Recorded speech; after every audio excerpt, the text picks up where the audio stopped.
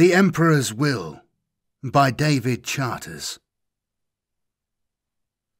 A long line of ships stretched away into the dark reaches of the outer system. More than sixty vessels in all, among them surveyor ships and recovery vessels, giant transports and tiny scouts, as well as fearsome vessels of war. Their crusade had lasted fifteen years of their time, as they had entered and re entered the warp but on Taran 3, the home world of their chapter, their battle brothers had aged nearly a hundred. The men aboard the vessel's ships were tired, and the ships themselves seemed wearier still. Most had suffered damage, and the warships bore the scars of many battles down their armoured sides. Yet for all their weariness, they were still proud and joyful at the prospect of homecoming. Aboard the giant transports were the prizes they had sought for the Emperor who commanded them ancient artifacts from lost civilizations, treasures from a dozen strange worlds, specimens and recordings and survey results to last a thousand scholars' lifetimes. They carried people, too, the Emperor's loyal subjects, representatives of the survivors from systems isolated in the great warp storms. Their peoples had long since given up hope that the Imperium would reach out to find its lost children, until the day the great ships of the Storm Warriors' fleet had appeared in the skies over their homeworlds. And lastly, they brought with them memories of lost comrades, of acts of heroism, of the battle axe and the lionheart and their courageous crews who would never return home. Memories that would be recorded in the annals of the chapter upon their return. But now they had been diverted. Their homecoming was to be delayed as urgent messages summoned them to undertake one final task for their emperor before he released them for rest and meditation beneath the silver skies of Taren Free. From the viewing port of the Sirius, Tessera 4 loomed large and forbidding. It was a giant by any standards. Much of its atmosphere was heavily polluted with thick, dark clouds obscuring the surface. Only at its northern pole where the bitter cold had kept human settlement at bay, was there a clear view of what had once been a stark but beautiful ice planet. Chapter Master Kalen turned from the viewing port to face the assembled officers in the wardroom. I understand that some among you are impatient for the assault to begin. It was framed as a question, but Kalen's stern glare at the marine officers made it clear that no answer was expected.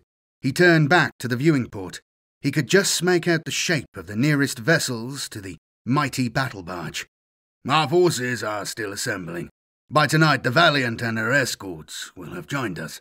Tomorrow, battle brothers from the Black Templars will be here, and I expect a mixed force of cruisers and destroyers to arrive from Elara Prime. He paused, his voice betraying what might have been uncertainty. And there may be other reinforcements as well. Sir? It was Captain Courter, commander of the First Company, an officer whose courage verged on recklessness, or even insubordination, and who typically failed to maintain the respectful silence of his brother officers in the presence of the chapter master. Kalen's voice was firmer now as he spoke. Courter, when the position is clearer, you will be informed. First, I need to reflect further on our situation myself. We are assembling an overwhelming force around Tessera 4, and there can be no doubt as to our ultimate victory, nor to the fate of the rebels who have chosen to take the path of treachery. But first, we must be certain that we best serve the Emperor's interests. I do not yet have that certainty. I shall retire to my quarters to meditate. Attend to your duties, gentlemen. Kalen turned and strode from the room, his scarlet cloak sweeping behind him. The sergeant standing at the wardroom door shouted, Attention on deck! And the officers leapt to their feet as their chapter master left them. The sergeant followed Kalen from the room, and the officers relaxed. Several of them left to return to duties elsewhere aboard the Sirius, but most remained, confounded and intrigued by their leader's uncharacteristic caution in the face of the rebels on Tessera 4.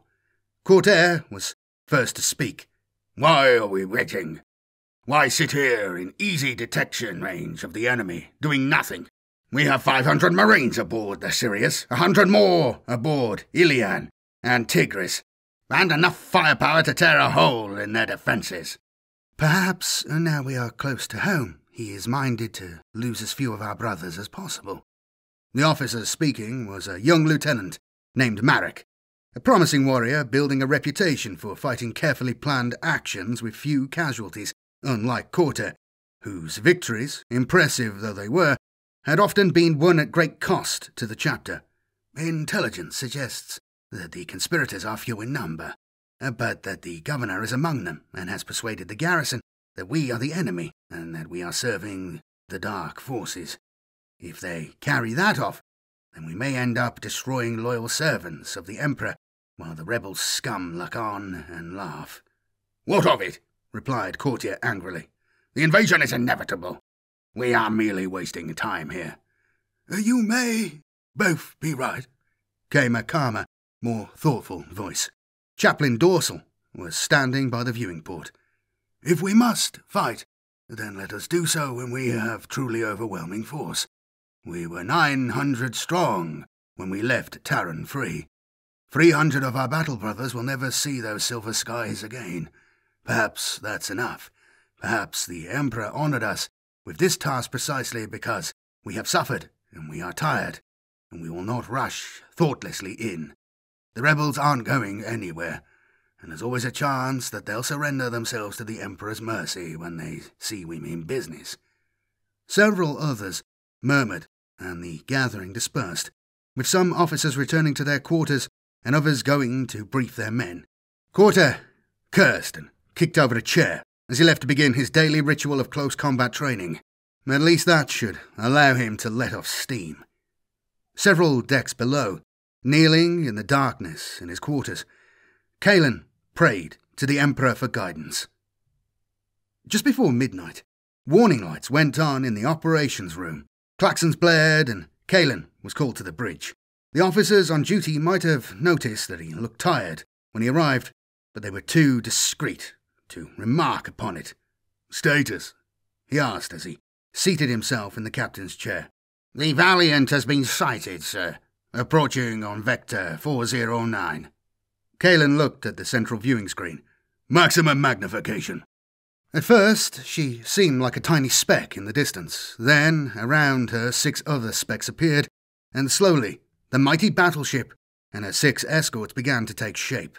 The Valiant had been scheduled to meet the returning storm warriors in the Magellan sector, to take charge of the transports and other Imperial vessels and escort them to the bases where they would be received and their cargoes and survey records examined.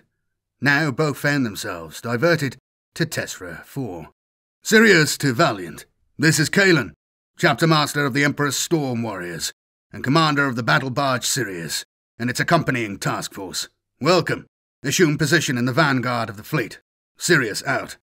He watched as the enormous battleship slowly passed the Sirius, great scars disfiguring her armoured sides. Her escorts followed smoothly behind. The duty officer moved to the communicator to close the comlink to the Valiant, but as he did so, he paused and looked closely at a monitor. Sir, we have another contact coming from the same bearing as the Valiant, the small craft. It could be an Imperial shuttle. Scanning now. At last, thought Kalen. Now I shall have clarity. Sir, the shuttle is hailing us. He doesn't appear to have visual, but I'm putting him on loudspeaker. Kalen sat back in his command chair and waited while the hiss of static faded and he could make out the words coming from the loudspeaker. This is Imperial Shuttle Aurora, hailing Imperial Task Force. We request permission to dock with your flagship. We have one passenger aboard, code Indigo. Code Indigo, thought Kalen, ignoring the startled faces on the bridge. An Inquisitor. Now things truly will become clearer. He looked towards the duty officer. Signal them to come aboard. I will receive our visitor in my quarters. He stood and turned to leave the bridge when behind him a voice shouted, They've fired something! The shuttle's fired something! The klaxon sounded, and the warning lights started flashing. Identify that missile! shouted Kalen. Who are they firing at? The duty officer was leaning over the shoulder of a young crewman at another monitor. Sir, it's not a missile at all. It appears to be a drop pod. We detect one life form aboard. It's heading for the planet's surface, moving very fast. He turned and looked at Kalen. Sir, they've got fighters down there, and a lot of firepower. Whoever he is, I don't give much for his chances. Neither do I, thought Kalen. Whoever he is, he must be very brave, or very stupid. Sir, Ilian's hailing us. Captain Sovak requests permission to talk to you. Put him on. This time there was visual, and Kalen looked into the steely blue eyes of the officer commanding the strike cruiser, a man who might one day succeed him as chapter master. Sir, you will have seen that the shuttle has launched a drop pod towards Tessera 4. I don't know if he's friend or foe. He could be trying to reach the rebels to assist them, or he may be on the Emperor's business. Do you want me to blow him out of the sky or clear a path for him through the enemy defences? Once again, Kalen understood why he felt such confidence for the future of the chapter. With such men, clear thinking, bold, decisive, the Emperor's foes had good reason to fear. Kalen closed his eyes for a second to think. Help him serve the Emperor, and let the Emperor's will be done. Kalen started. It was as if someone was talking inside his head. Help him! Clear his path! Ensure that he reaches the planet at all costs. Other vessels stand aside. Ilian and Tigris, you have weapons free, fire at will. May the Emperor's will be done. Hundreds of miles below the task force, swarms of fighters were emerging on the edge of the atmosphere, racing to intercept the drop pod. As they approached the tiny pod, it seemed to accelerate and started to dodge and weave. The fighters closed in, mirroring its movements and firing lance like bursts of laser cannon at it. The fate of the tiny craft looked inevitable until suddenly an enormous laser bolt from the Ilian uh, ripped through the fighter formation, incinerating many of them, and the strike cruiser and her sister vessels surged forward into their midst. Several of the fighters were too slow to dodge the oncoming cruisers and were smashed in fiery explosions by the accurate fire as the ships raced towards the outer atmosphere of the planet, covering the descent of the tiny drop pod. On the bridge of the Sirius, Kalen shook his head in wonder as his cruiser captains threw their ships around space like fighter jets. They're following the pod right down into the atmosphere, shouted one of the crewmen on the bridge. They watched in awe as the cruisers descended behind the tiny drop pod. Every weapon on the cruisers seemed to be firing, blasting at rebel fighters like giants, troubled by gnats. As they entered the atmosphere, their hulls glowed and seemed to be ablaze, and the fighters peeled off as their heat shields threatened to overload. The pod itself only accelerated further, glowing like a shooting star, and then turning off rapidly towards the frozen north and disappearing to land somewhere in the Arctic wastes. Ilian and Tigris turned off in the opposite direction, racing through the skies of the polluted planet, leaving multiple sonic booms and hurricane like tailwinds in their wake. Unsubtle, I think you'll agree, but effective. If the rebels were in any doubt about our presence here before, they're certainly under no illusion now. Kalen span at the unfamiliar voice. Forgive me, Chapter Master. My shuttle docked while you were otherwise distracted. I am Inquisitor Andreessen. I am here by order of the Inquisition to assist and advise you in this grave matter. With your permission, I would welcome the opportunity to talk further with you about the situation on Tessera 4. Kalen looked at the tall, stooped figure, swathed in a dark cloak, his face and head concealed by a hood. Of course, my Lord Inquisitor. It is an honour to welcome you aboard the Sirius. Shall we retire to my quarters? The fleet had been in orbit around Tessera 4 for 11 days. A company of Black Templars arrived on the second day, and further reinforcements continued to assemble. The captain commanding the Templars made clear his frustration at the delay.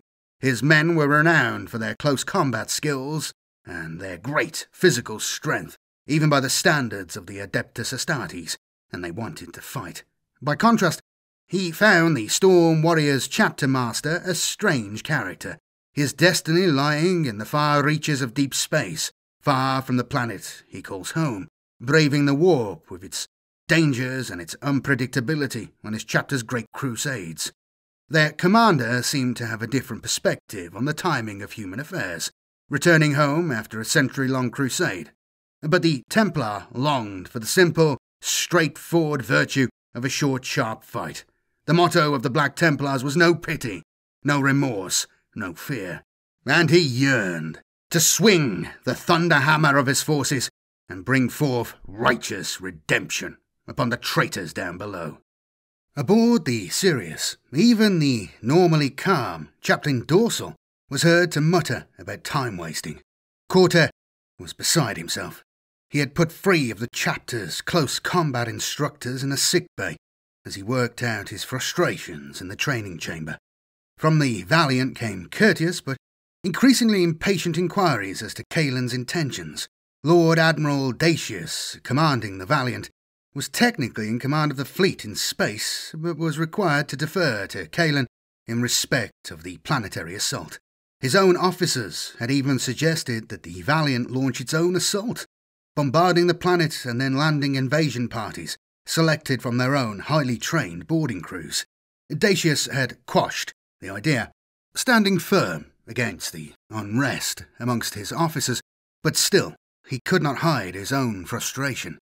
Finally, on the tenth day, the captains of the Ilian and Tigris had defied convention and joined with several of the escort commanders and the Black Templars captain in coming aboard for consultations with Kalen.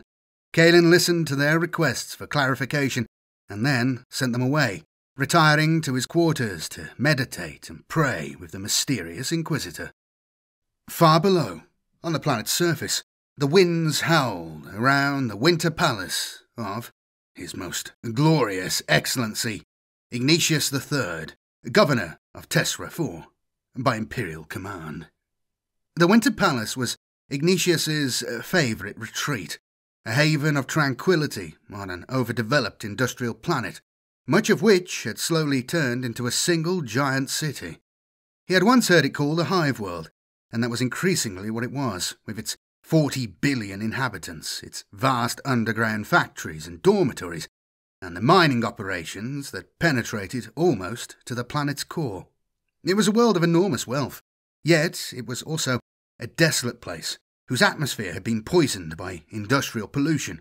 Only in the Arctic North could a man walk freely on the planet's surface and breathe the air without the help of apparatus.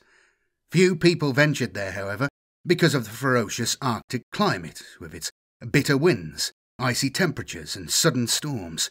It was about as brutal a place as a man could imagine, thought Ignatius, as he walked from his well heated private chambers towards the gate that led outside to the spectacular ice gardens with their centuries old frozen sculptures. Whenever he stayed at the Winter Palace, he spent fifteen or twenty minutes at the start of each day in the ice gardens, he enjoyed the sense of privacy and seclusion in them, and liked to look up at the mighty Mount Okram, the tallest mountain on the planet, in whose shadow the Winter Palace had been built a thousand years before. Mount Okram occupied a special place in the consciousness of all native born Tesserans. In primitive times, young men had attempted to climb it for the honour of their peoples and as a test of manhood. The lucky ones turned back while they could, there was no known account of an unaided climber reaching the summit and returning alive. In more recent times, attempts had been made to land on the summit from the air, but even large craft could not maneuver safely in the storms that constantly swept the summit. Teleport tests had been tried with volunteers, but the metallic ores at the heart of the mountain upset the delicate positioning apparatus with catastrophic and fatal consequences. The result of all this was that Mount Okram remained unconquered, nature's last bastion in a world devastated by mankind. Ignatius found it fitting that the mountain should provide the backdrop to the palace. He was surrounded on three sides by the walls and fortifications of the palace grounds, with their heavy weapons emplacements and reinforced bunkers, while to his rear, an impregnable force of nature protected him.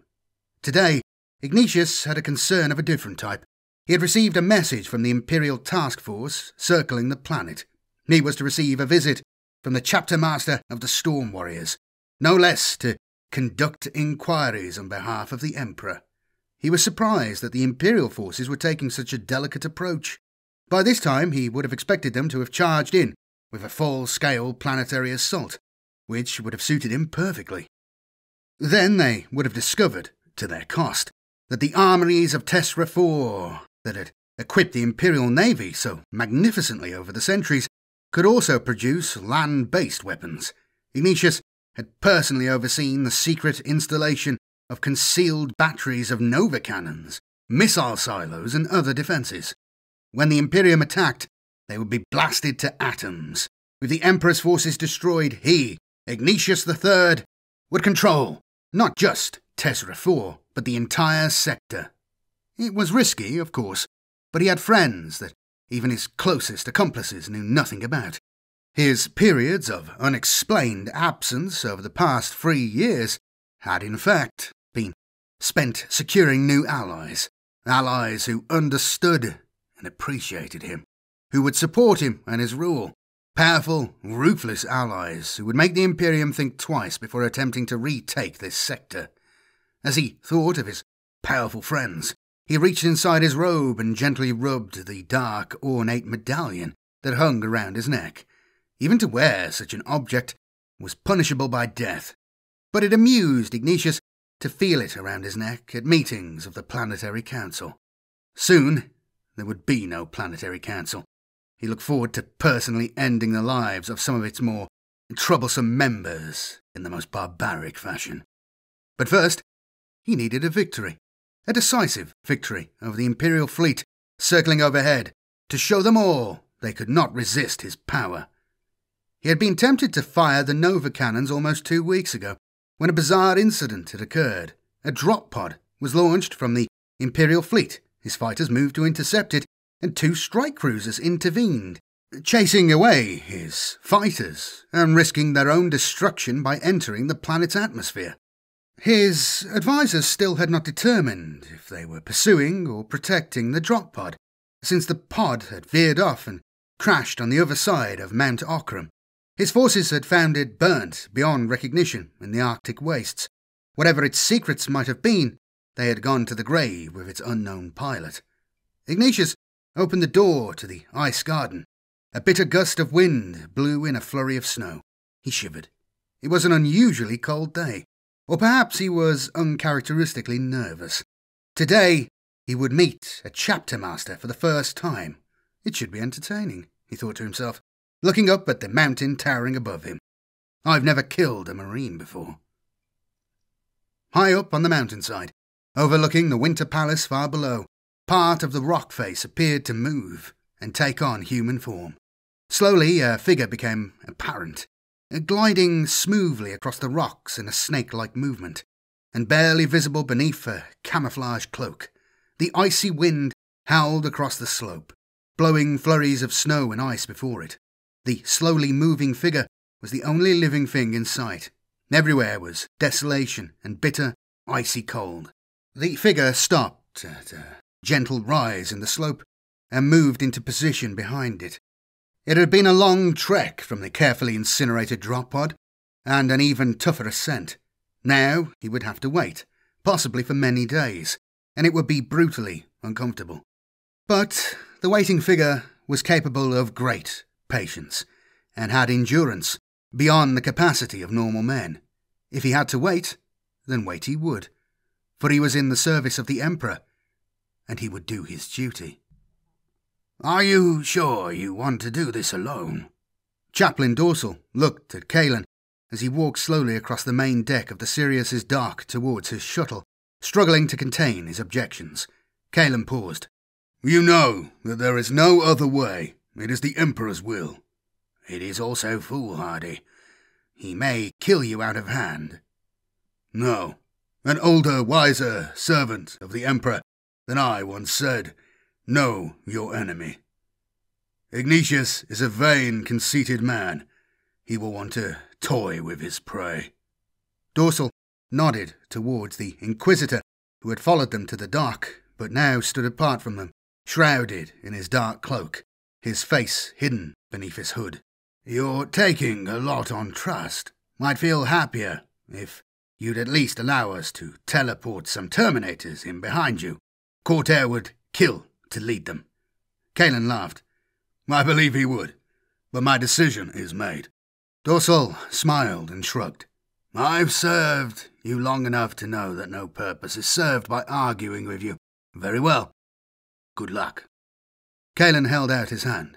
The chaplain clasped it firmly, wondering if it was the last time. Kalen turned and entered the shuttle.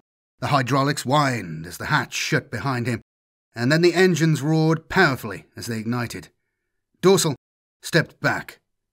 May the faith of the Emperor and his strong right arm guard you and guide you. He turned and headed back to the bridge. The roaring sound of powerful thrusters interrupted the moaning of the wind around the Winter Palace. Ignatius looked up from his desk and stared out through the 16 inch armoured glass window at the landing pad. An Imperial shuttle was landing in the grounds, painted in the distinctive scarlet and gold livery of the Storm Warriors. A strange chapter, thought Ignatius, and one for which my friends have a particular loathing. They will be pleased with me for this.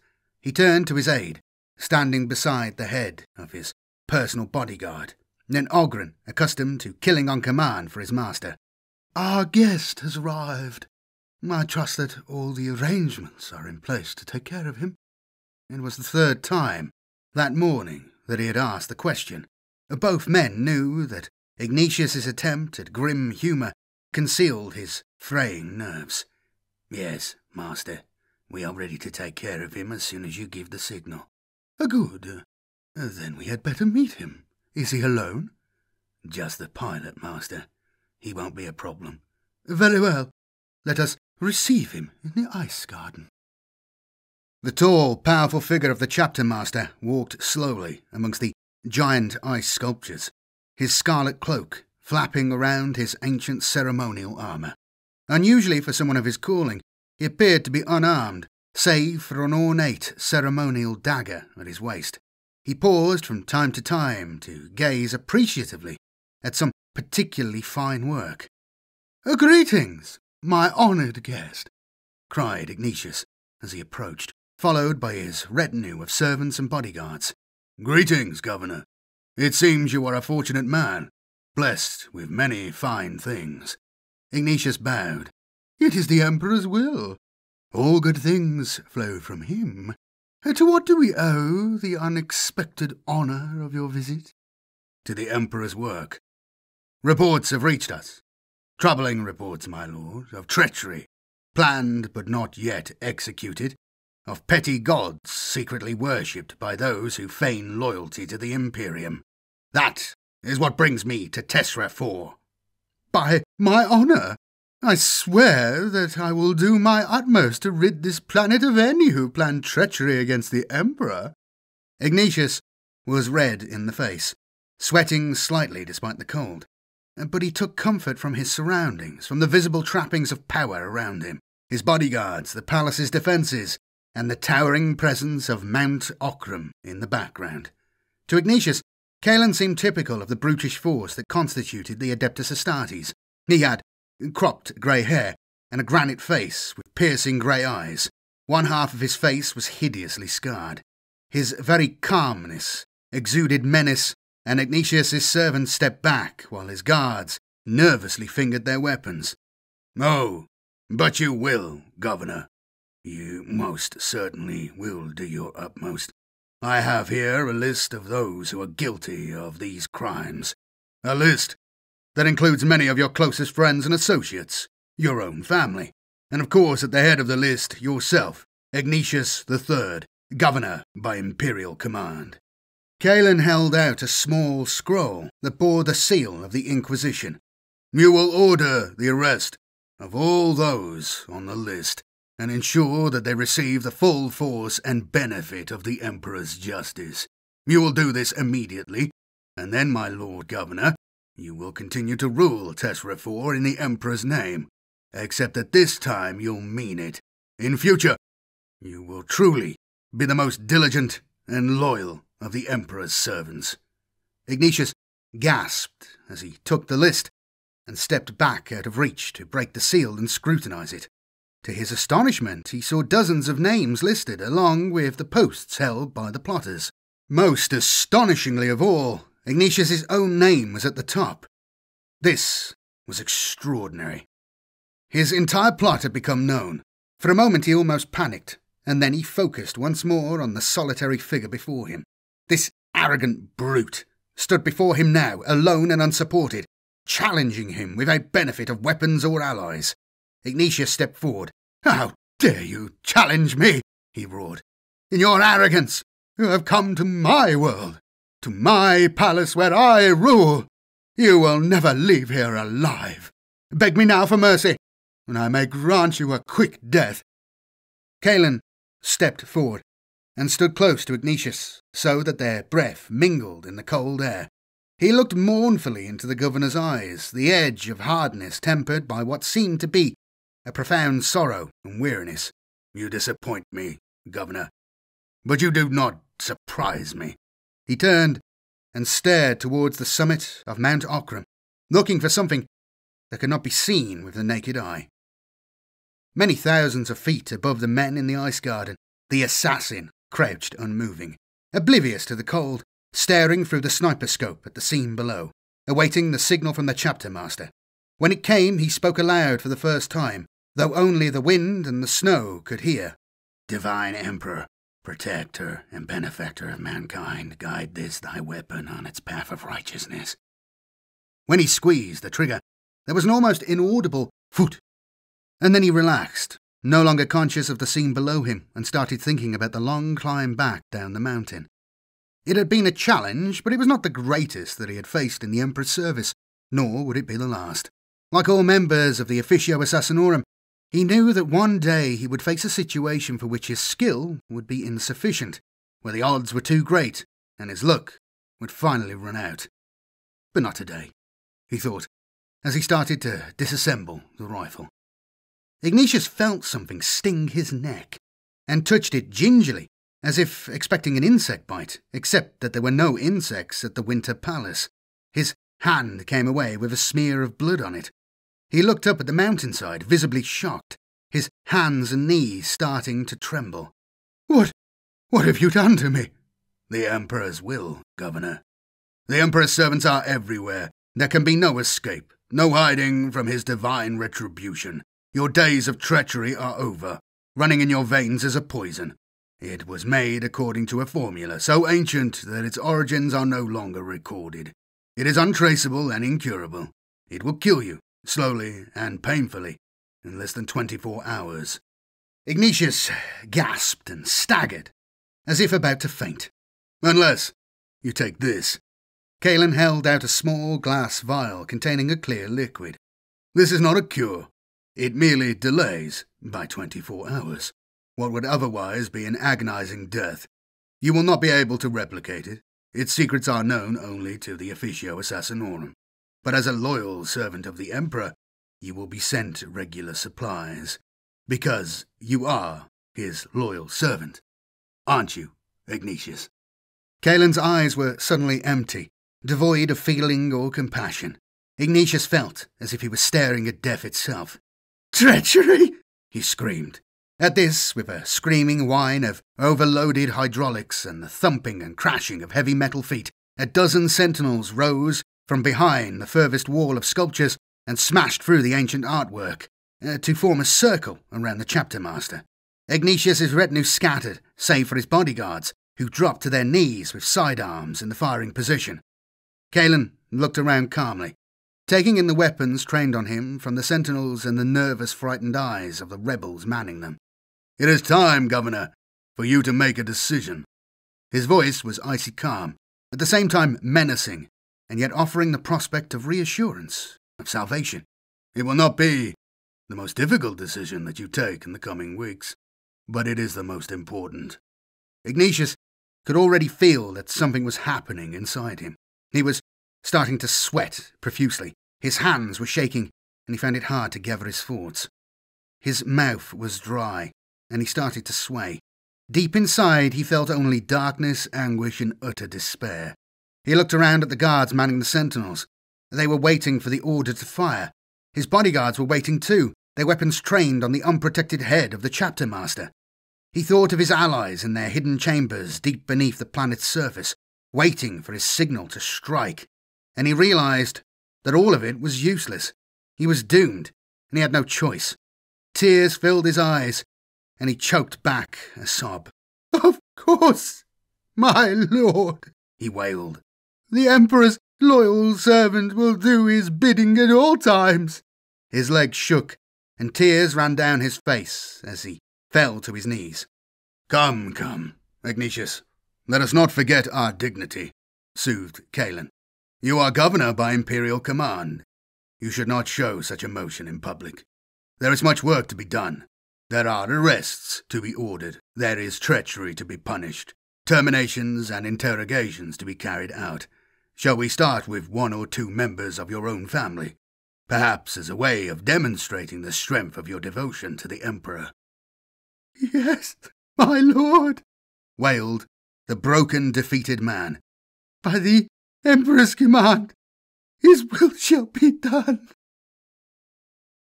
On the bridge of the Sirius, the duty officer called down to Kalen's quarters.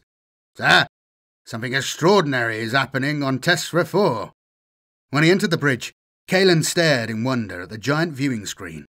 At more than a dozen points on the planet's surface, huge explosions were erupting, sending flames tens of thousands of feet into the atmosphere. Sensors indicate nova cannons, sir. They must have been concealed on the planet's surface. They started detonating about ten minutes ago. It looks as if they're destroying their own defences. Sir, a crewman called over to Kalen. Sir, the planetary defence forces are airborne. I'm detecting nearly a thousand short range orbital launches. Uh, probably fighters, but could uh, include some bombers and assault craft. It looks like they're launching everything they've got, and they're heading this way. Kalen relaxed into the command chair and allowed himself a gentle smile. Advise the fleet to go to action stations, but do not fire except at my command. Sir, they're hailing us. The Testran pilots are hailing us. The bridge crew were staring at Kalen, as puzzled by his relaxed demeanour now as at any time since the shuttle had returned him safely to the Sirius just eight hours ago. Put it on loudspeaker. The words, as they came through, were Uh, crackly at first, but the meaning soon became clear.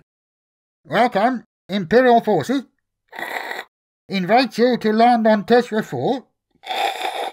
Escort you safely to landing zones. Word quickly spread through the ship. For a moment, Kalen was puzzled as he tried to identify a strange roaring sound, like the noise of some great engine, and then he realized it was the sound of thousands of cheering voices echoing around the corridors as Space Marines and crewmen gathered at monitors and viewing ports to watch the spectacle unfolding around them. The bridge door opened and Courter came storming in. Don't say they're surrendering. The filthy yellow scum. We should request powers of exterminatus to cleanse this filth. No, Courter. Kalen looked at the angry younger man. They are not surrendering. We are their allies, and they are welcoming us as allies should. The evil on this planet has already been cleansed by subtler, more precise methods than you and I are accustomed to. The Emperor's will has been done, and we shall all live to celebrate our homecoming. Courter stared at Kalen, for once lost for words, his face looking fit to burst and then he too laughed out loud and let out a great whoop of joy. The crusade was finally over, and the Emperor's will had indeed been done.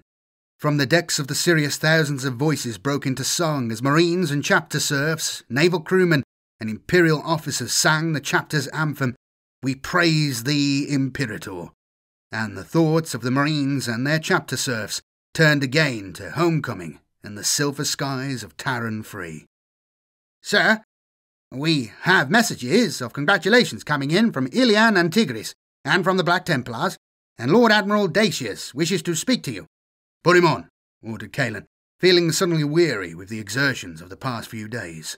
The images of the planet's surface disappeared from their main viewing screen and were replaced by the impeccable Admiral, seated in his finest Imperial Navy drill uniform on the bridge of the Valiant. My Lord Kalen, for five hundred years the Valiant has fought the foes of the Imperium, and twenty-seven admirals raised their flags aboard her before I was granted that great honour. But I would happily wager that none has seen a finer day than this. I have fought alongside many fine comrades from the Astartes, and together we have conquered and crushed the foes of the Imperium. often at great cost. But never have I found myself saying that it was a privilege not to fight alongside a brave comrade. Please accept my congratulations, my compliments, and my gratitude. With your permission, my lord, the Imperial Navy will take control of the situation on Tessera 4, leaving you free to resume your journey. Kalen sighed. The privilege was mine, Lord Admiral, and I happily release Tessera 4 to your command. The image on the screen faded, and Kalen turned to Courter. Courter! he snapped, making the burly captain leap to attention. Sir! he bellowed, standing rigidly at his formidable best. Courter, said Kalen more softly. We're going home. Signal farewell and Empress speed to the Imperial vessels that accompanied us, and order all chapter vessels to form line astern, Ilian and Tigris to bring up the rear. Yes, sir, shouted Courter, eagerly rushing to the comset. He looked up happily as the signals went out and was puzzled to see Kalen slumped, exhausted in his chair. In his mind's eye, Courter was already home beneath the silver skies, and was rushing headlong into the warm golden waters that lapped against the shore of the great ocean. But Kalen was elsewhere, somewhere out in the warp, remembering lost comrades, recalling the glorious sacrifice of the Lionheart and the battle axe, and reflecting on the tasks yet to come, as the chapter healed its wounds and prepared itself once again to journey out into the warp on its next crusade. But we'll be wiser now, thought Courter, You've taught us wisdom and patience, and that we must not let our strength blind us to the needs of true victory. Next time we shall be more formidable than ever before. This will be your gift to the chapter, my lord Kalen. May the Emperor's will be done. And there you go, everybody, an oldie but a goldie. Please do remember to leave a like and let me know in the comments what you thought. Those two things help massively with the YouTube algorithm for a small channel like mine. I really, really appreciate it. And uh, please do subscribe if you're not subscribed and hit the bell and all that. Thank you to everybody supporting the channel. You can see your names scrolling by as I, as I babble right now. And uh, thank you ever so much. It really means the world to me that so many people do, and I, I really appreciate it. And uh, you guys get this stuff done. And if anyone would like to support, please consider using the links below. I'm not going to shill anymore. I'm not going to babble. I'm going to go. More stuff soon. Thank you all very much for watching. And again, like the video. I, was, I thought I was going to say something dramatic and cool then, but I wasn't. I'm just going to say bye bye. Bye bye.